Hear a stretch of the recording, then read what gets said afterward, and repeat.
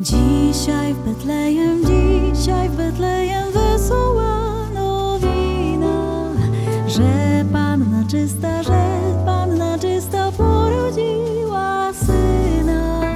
Chrystus się rodzi, nas oswobodzi, anieli grają, króle witają, pasterze śpiewają,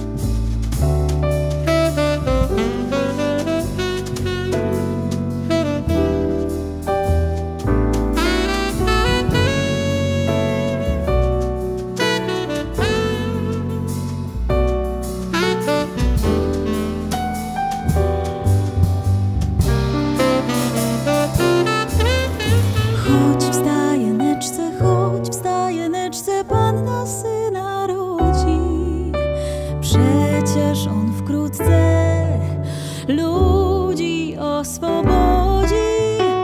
Chrystus się rodzi, nas oswobodzi. Anieli grają, króle